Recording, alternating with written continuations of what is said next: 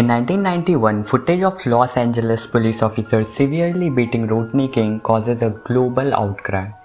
The acquittal of the police officers involved sparked the Los Angeles riots in 1992. In 1985, the UK miners' strike ends. The year-long dispute was the country's longest-running industrial dispute and a defining issue of Margaret Thatcher's Conservative government. In 1938, the world's fastest steam locomotive is built. The Mallard could reach a speed of over 100 miles per hour. In 1924, the last remnant of the Ottoman Empire in Turkey is abolished.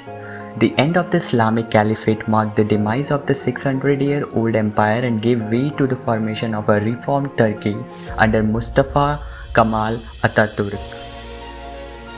In 1974, all 345 people on board a Turkish Airlines jet dies as it plunges to the ground near Paris, France. The crash of the DC-10 aircraft has the fourth highest death toll of any aviation accident in history.